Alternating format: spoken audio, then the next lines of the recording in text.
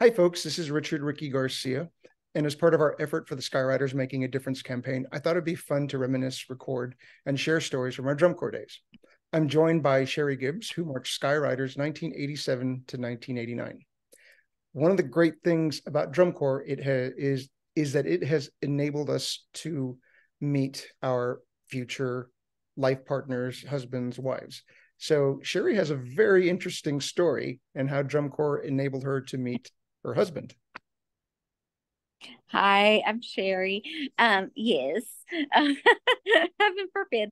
Um, poor Dave.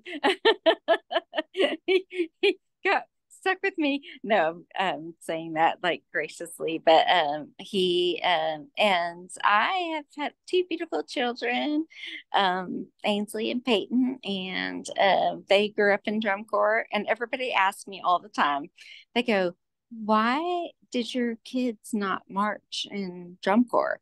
And I'm like, "They were around it." their whole life but they just never actually um necessarily wanted to be in it, but they got to enjoy it and love it just because um you know dave and i brought them around it and um it was a, it was a gracious gracious thing and um my husband dave is amazing i don't think i would have met him if i had not been in sky ryders or in a wgi whatever it was going to be um I I blame Frank Troika and Scott Chandler all the time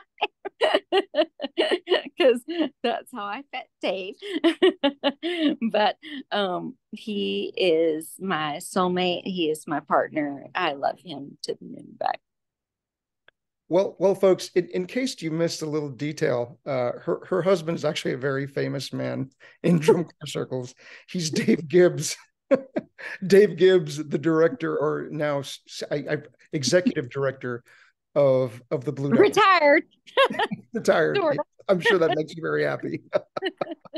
And and uh, so yes, he's he's a very very very uh, uh, prolific uh, man in, in in the area of drum corps. He's he's taken the Blue Devils to to levels that, that beyond anybody could could have ever dreamed of and and I I I as Sherrie's talking, telling this story, I, I have a little smile on my face because her husband was my marching instructor when I was with the 86 Blue Sorry,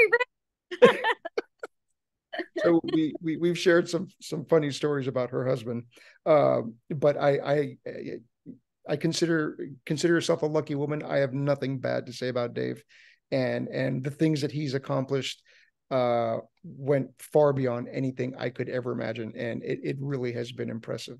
And I am happy that the two of you have have created a great life together. Uh, your your your, your two kids that are have gone on to do very well as well. So you you must be in in a terrific place. And and and again, the, the magic of drum corps, uh, the the, the things, the, the, the people that you meet, and and um, and you're a very lucky woman.